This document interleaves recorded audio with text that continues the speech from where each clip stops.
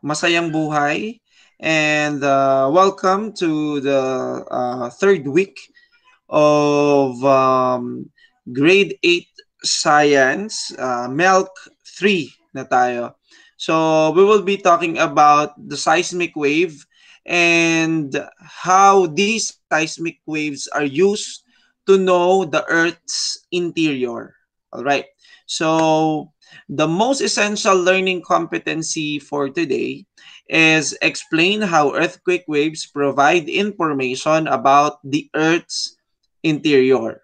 So we will be using the earthquake waves for this week in order for us to know about the Earth's um, interior.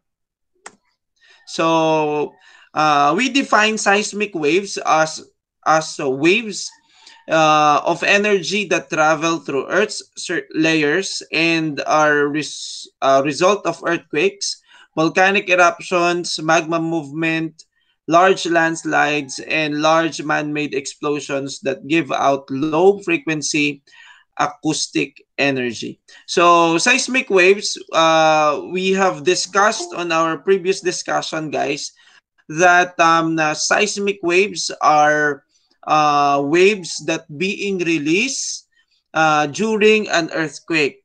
So we have learned as well that um, these are energy. And uh, if we try to recall the concept of magnitude, guys, di ba? Magnitude is the measurement of earthquakes energy. And this is the seismic wave. Now, in order for us to know uh, the seismic wave, uh, and in order for us uh, to understand how we can uh, we can able to know the Earth's interior, so um, uh, we will be talking about the different kinds of waves uh, na nare-release during an earthquake. So always remember mga bata that during an earthquake, same thing as this uh, figure, uh, uh, during an earthquake, lahat po ng, ng waves, okay, ay uh, in all directions. Okay? So, ang maganda po kasi sa, sa seismic wave, hindi siya sa isang direction lang. So, uh, multiple directions ang, ang pinupuntahan ng mga waves. Kaya, uh, nag, nagkakaro, na, nagta-travel siya through, uh, through Earth. Nagta-travel siya through the surface of the Earth and nagta-travel siya sa body of the Earth.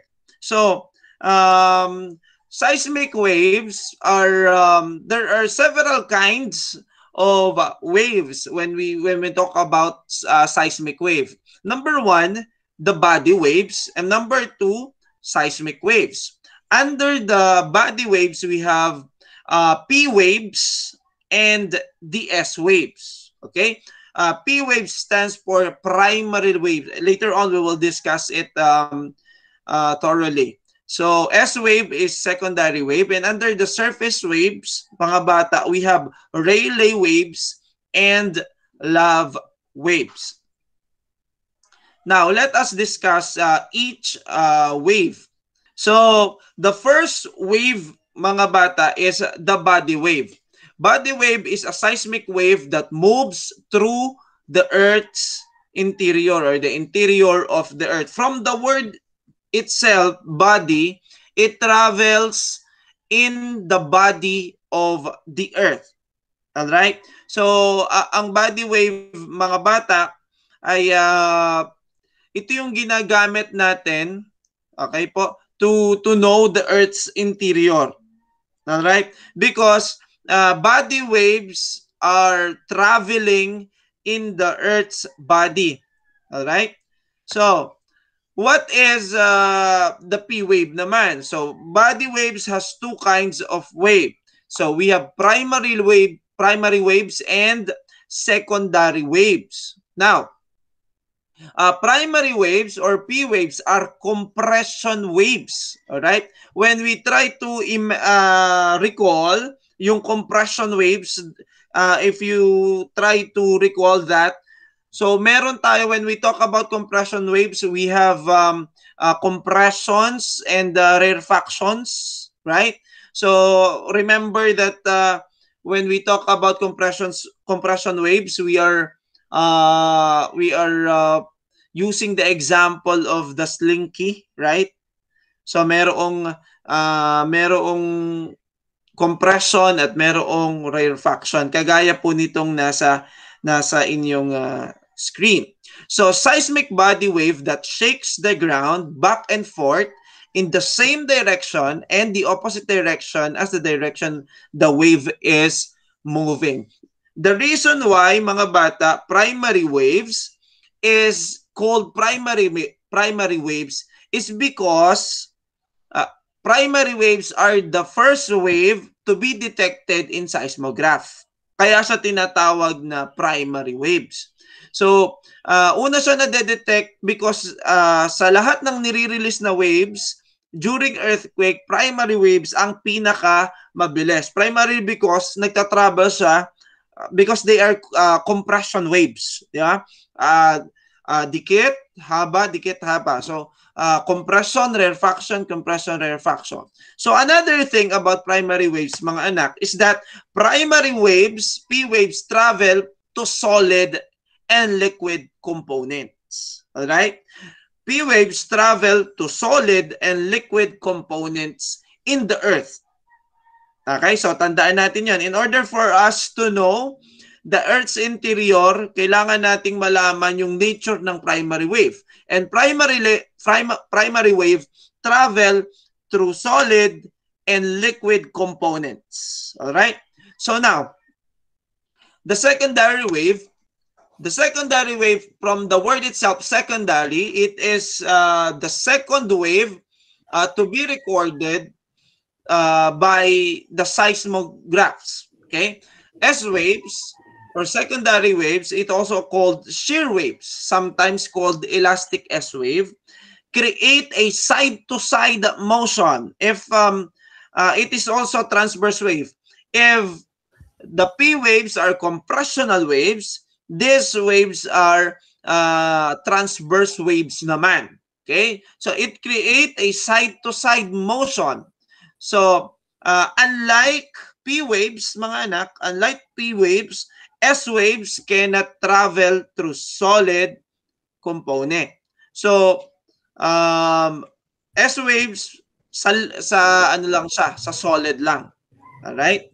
Kaya sa para mas madali nyong maintindihan, ang S wave stands for solid din. Okay? Para mas madali nyong ma, uh, ma, matandaan that S wave only travel for uh, through uh, uh, solid medium. Okay? So, secondary wave. So, as I have said, body waves ha have two uh, kinds of waves. We have uh, P wave and S wave. P wave is a compressional wave, okay, that travels through solid and liquid, while S wave or S waves travel only in solid and it is a transverse wave which creates a motion of a side-to-side uh, movement. All right? So let us move on. Let us move on to the, the other hand, okay, the other branch of, of the wave. So the surface waves are typically generated when the source of the earthquake is close to Earth's surface. As their name suggests, um, surface waves travel just below the surface of the ground. Although they uh, move even slowly than S waves, they can be much larger in amplitude. They are often most destructive type of seismic wave. From the word itself, mga anak, surface, meaning uh, these waves travel in uh, the surface of the earth. All right? Uh, these uh, these waves are traveling in the surface of the earth and majority of the destruction are caused by the surface wave but since surface waves are moving on the surface napi-feel natin yung paggalaw ng ng lupa because of this surface wave because if we try to recall the concept of body waves body waves traveling to the earth's body all right? While uh, surface waves are traveling on the surface of the earth, which uh, naandoon tayong lahat. Okay? Nandoon yung mga establishments, nandoon yung mga uh, mga tao, at uh, nandoon yung mga makakaramdam ng effect ng ng earthquake. So, uh, always remember that sur- sur- surface wave is um, uh, the most common wave that causes the destruction on the surface of the earth. All right? So we have two types of surface wave. We have number one, lava waves. Is it is also known as Q wave or queer waves. Uh, these are surface seismic waves that cause horizontal shifting of the earth during an earthquake. So, uh, horizontal mga anak, okay? Ang ang movement kagaya nitong nasa diagram. Augustus Edward uh, Ulov predicted the existence of love waves mathematically in 1911. That's the reason why it is called love uh, wave. So, uh, umaalon din siya, okay po? Usually, um, up and down. Okay, up and down movement na ng land. Okay? So, love waves travel with lower velocity than P wave and S or S wave, but faster than Rayleigh waves. These travel in the lithosphere. As I have said, love waves travel on the surface. So it, it travels in the in the lithosphere. Uh, love wave, if we try to arrange the speed of the waves, of course, primary wave is the fastest, and then secondary wave, and then after that, the lava waves, and the last and the uh, the slowest uh, wave would be the Rayleigh uh, wave. Okay, include both longitudinal and transverse waves. Okay, or transverse motion, sorry, that decrease exponentially in amplitude as distance from the surface increases. All right. So, uh, what is the meaning of that? Uh, Rayleigh move the ground up and down primarily because meron silang longitudinal at saka transverse motion sila. So, um, itong mga waves po na ito, Rayleigh waves, are moving the ground up and down and side to side in the same direction that the wave is moving. So, since Rayleigh motion or Rayleigh waves po is a moving and up and down and side to side, Rayleigh and at at the same time, Rayleigh waves are the slowest waves. Rayleigh waves cause the the most distractions. Okay po? Rayleigh waves cause the most distractions on the surface of the earth. So ayun talaga yung nagkokos ng napakaraming uh, distraction, sira sa sa ating um, uh, sa ating uh, surface.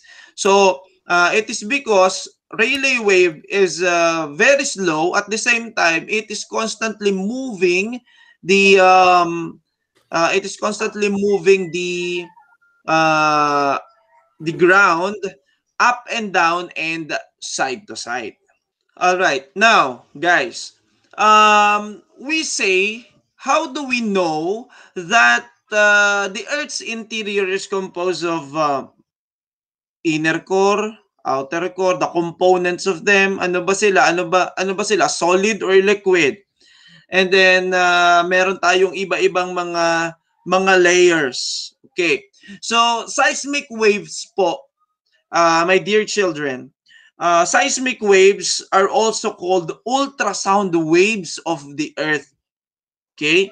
So it gives us an indirect evidence of the Earth's layer. So, seismic waves, we are using seismic waves in order for us to know the Earth's body or Earth's interior. Okay? So, if you remember, okay, uh, di ba, ang, ang P waves, nagta-travel siya sa solid and liquid. Ang S wave, nagta-travel siya sa, sa, sa solid lang. Okay. Scientists are using seismic wave uh, through uh, through this particular concept. nagkaroon sila ng observation about the movement of the seismic waves. So na napansin nila na nagbabago-bago yung speed ng uh, ng mga seismic waves. Primarily the body waves. Nagbabago-bago yung speed nila primarily because uh, scientists uh, were able to know that uh, these particular waves are traveling in different densities. So naisip nila, bakit nag-iiba-iba ang speed okay, ng mga ng seismic waves or ng body waves when they travel in the Earth's interior. And then they found out later that the Earth has layers. Kaya hindi uniform ang takbo or ang bilis ng seismic waves or ng body waves, specifically P wave and S wave. When the seismic waves are released Body waves such as S wave and P wave travels from the point of earthquake to the body of the earth. So napansin nila that in the mantle, pa, uh, P waves and S waves travel. So what is the state of mantle, solid or liquid? It's solid. Primarily because both S and P waves travel okay po, uh, on the mantle.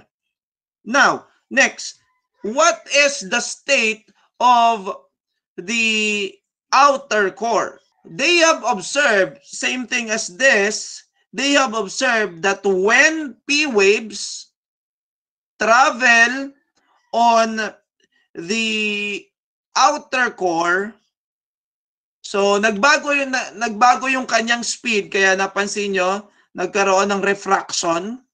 Okay? Nagbago yung kanyang speed pero the thing is nag-travel pa rin siya at uh, doon sa sa outer core. Now, uh, what is what was observable on that time is that when the S wave travel to the outer core or nawala siya Ibig sabihin, uh, what does that mean?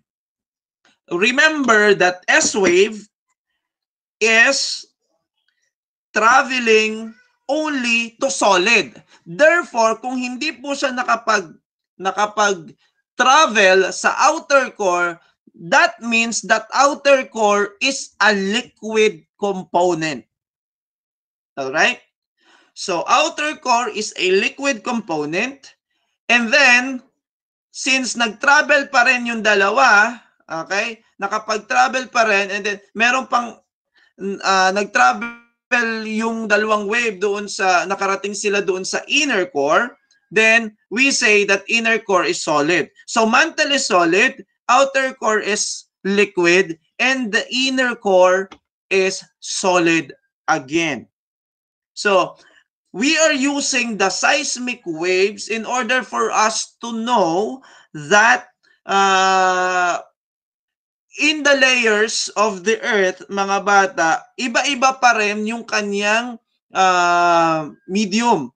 Okay? Yung kanyang components. Naintindihan? So through through the S uh, through the body waves, we were able to know that the earth the earth's interior has layers and uh, they are um, in different state. Okay? Mantle is solid, outer core is liquid, and the inner core is um, uh, solid again. So that's how we use seismic waves to know the Earth's interior and to understand the layers of the Earth.